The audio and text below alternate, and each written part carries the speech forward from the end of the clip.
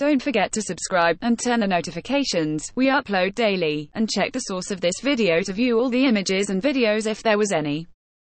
YouTube screen cap. The Defense Advanced Research Projects Agency, DARPA, is responsible for ensuring the US is ahead of the rest of the world when it comes to next-gen tech.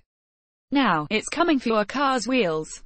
Sort of. DARPA researchers have come up with a reconfigurable wheel track RWT, a technology that's capable of shifting a wheel's shape while a vehicle is in motion.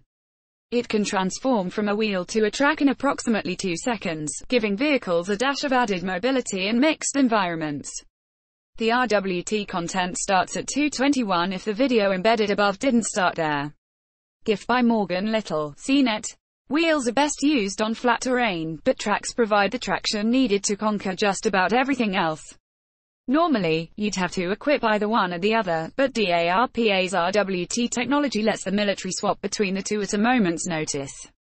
Fixing tracks to traditional vehicles is currently in vogue. Nissan has a wide variety of concepts dedicated to this practice, with vehicles intended for both snow and dirt.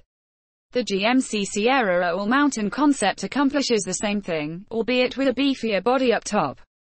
Perhaps these automakers should be knocking on DARPA's door for their next set of concept cars.